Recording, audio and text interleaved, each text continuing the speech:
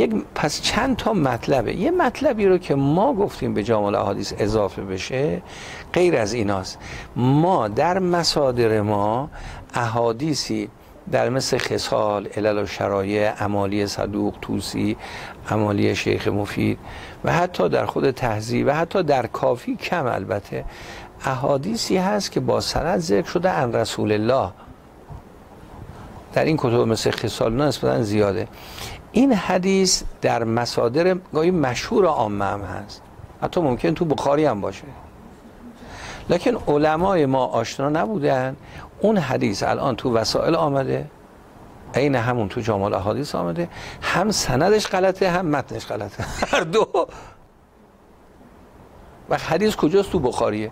ببینید ما در میان اهل سنت یه حدیث طبقه معروفی حدیث معروفی داریم. یکی از تابعین به نام ابو زبیر مکی. این از جابر ابن عبدالله نقل می‌کنه بین اهل سنت کلامه قبول بشنه احادیث ابو زبیر ان جابر. ابو زبیر این متوفای 110 ابو زبیر متوفا ما یک راوی دیگه داریم ابوالحسن علی ابن محمد ابن زبیر. این از ابن فضال نقل می‌کنه. این سالهای مثلا 300 اصلا با اون از زمین تا یه جای سندی هست ابن ز... نوشته اب زبیر ان جابر خب اشتباه خیلی زیاده اصلا قابل تصور نیست. برای کسی که با حدیث آشنا باشه خیلی این حرف مسخره است. خیلی مسخره است که این مثلا اونه. اصلا نه هیچ اصلا ربطی به هم منظر نسخه درست چاپ شده. ابن زبیر انجابر شده. غلطش این بوده. خب یه ابو زبیر انجابره. و حدیث معروف اهل سنت هم. ما یه مشت مقدار زیادی حدیث اینجوری داریم. یعنی به عبارت اخرى بحث فنی حدیثیش اینه. اگر شما نشین جامعه احادیث شیعه معیار در شیعه بودن حدیث چیه؟ سوال.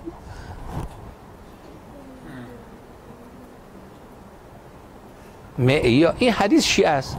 الان ما در کتاب خصال صدوق الاشاره روایت داریم.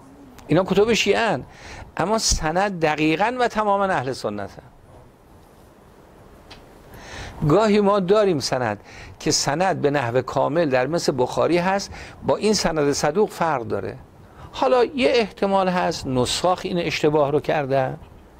یه طبیعی این احتمال. احتمالی که خود ما میریم خود صدوق این اشتباه کرده باشه حتی.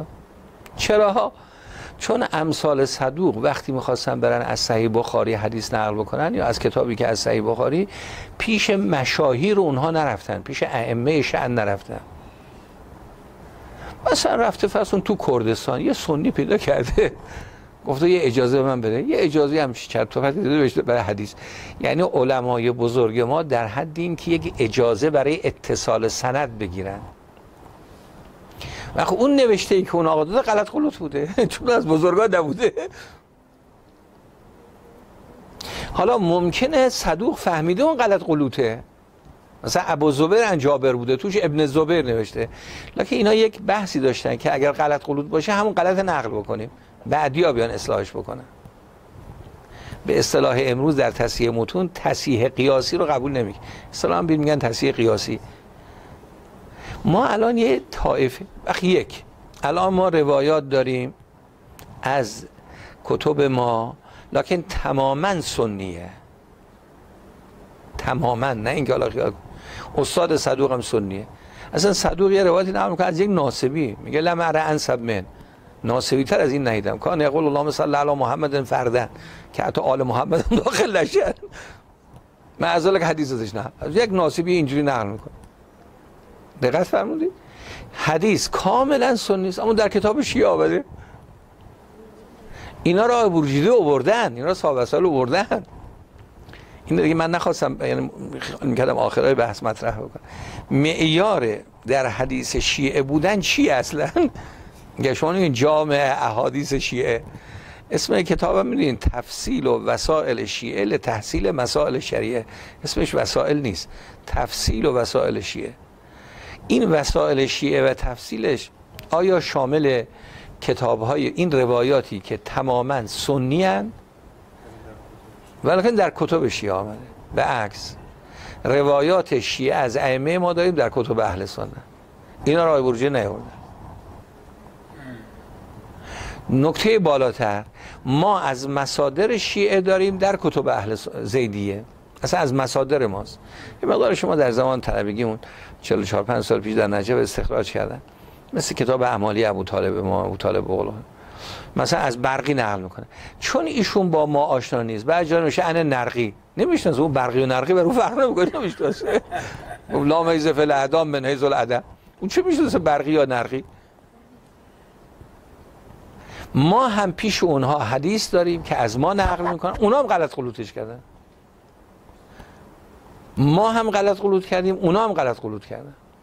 البته اونا از ما کمتر نقل کردن ما بیشتر نقل کردن. پس یه بحث اینه یه بحث خیلی باز از این ظریفتر. گاهی ما اصلا محمد ابن مسلم داریم. اصلا محمد ابن مسلم که از بزرگان ماست یه حدیث کلا از سنیا نقل کرده. راوی شیعه است. از امام ما هم نیست. اما راوی از بزرگان ماست. این هم جزء احادیث شیعه بیاریم یا نه؟ ضعف هایی که هم جامال احادیث داره هم آیه وسائل داره.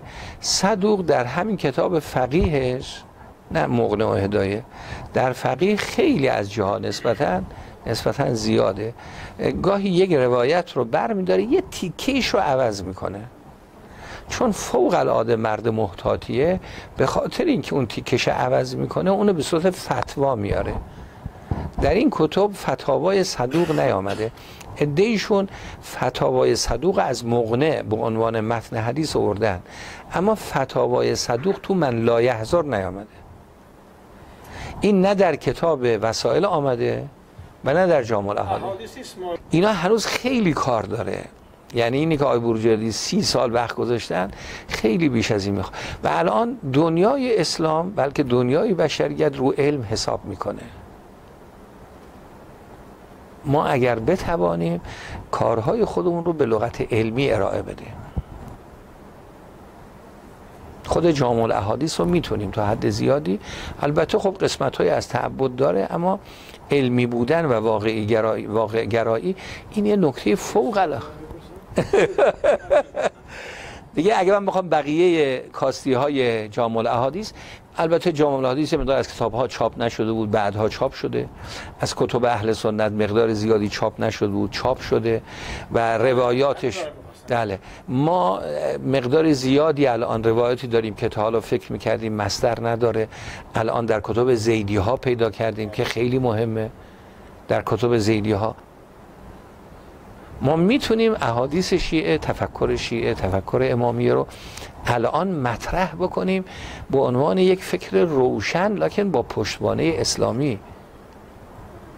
به شیعه کافرین به ما گفتن اما هنوز به شیعه غیر از عبازی الان به فکر عبازی هم نگاه می‌کنن. نه فقط فکر شیعه. این آش محمود آش جاد مغنیه نوشتن این کتابش فقط مذاب خمسه که مصر رفتم تا سفر مصرش بر من من نجف بودم آقا آش محمود در سال 1975 میلادی که جنگ داخل لبنان شد من نجف هستم. لبنان ول کرد. جاد مغنی معروف؟ تو هم مدرسه ما بود. من اتاق بالا بودم میشتون زیر اتاق من مرحوم این کتاب اصول الفقه فی صوب الجد اونجا نوشت. یک سال خورده اونجا بود.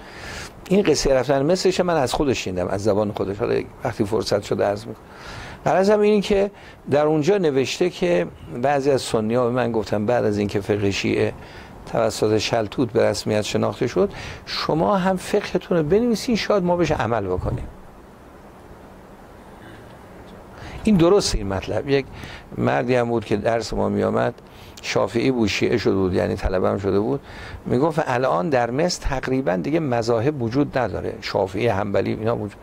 اسهل اخذ به اسهل می‌کنن.